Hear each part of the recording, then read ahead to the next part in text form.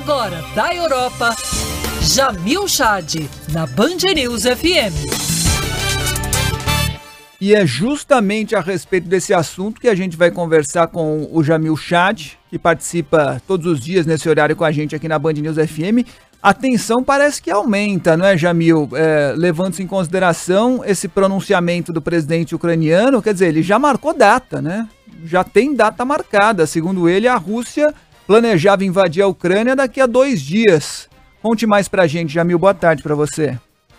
Fábio, Débora, boa tarde, boa tarde a todos. De fato, essa informação que o presidente ucraniano eh, publicou, pelo menos declarou, é uma informação que o de Departamento de Estado norte-americano também já vinha eh, colocando desde o fim de semana, um fim de semana em que, pelo menos segundo os americanos, houve um aumento na mobilização das tropas russas do outro lado da fronteira, ou seja, na fronteira com a Ucrânia.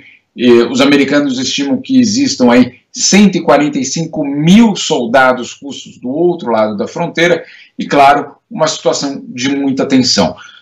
por que quarta-feira? Por que o dia? e não, não tem nada a ver com a, a, o encontro entre Bolsonaro e Putin, que também acontece na quarta-feira. Mas não, não é essa, não é esse exatamente o timing. O timing é porque seria depois da última grande reunião com o líder europeu, no caso, Olaf Scholz. Olaf Scholz desembarca amanhã em Moscou e, claro, tentará, assim como já fez o Macron, convencer Putin a estabelecer algum tipo de diálogo, restabelecer a diplomacia. Enquanto esse é o alerta do Ocidente, meu caro, é, do lado russo, os sinais são pelo menos outros. Agora, obviamente é muito difícil você saber se são apenas declarações, retórica, ou se nós estamos falando de, de fato de intenções. Sergei Lavrov, que é o chefe da diplomacia russa, esteve hoje com Vladimir Putin e disse que ele ainda acredita numa solução diplomática, que ele ainda acha que existe espaço para a diplomacia.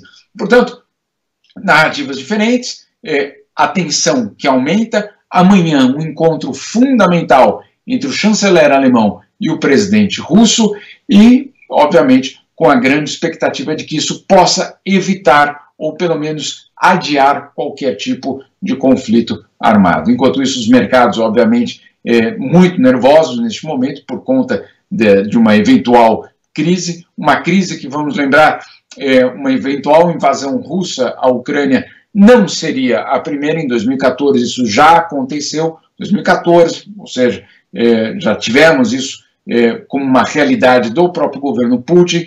É, obviamente que neste momento teria uma consequência muito maior, muito maior, porque pelo menos segundo os europeus e os americanos haverá um, uma resposta em forma de sanção, sanções econômicas, financeiras e comerciais. Essa pelo menos a promessa do Ocidente.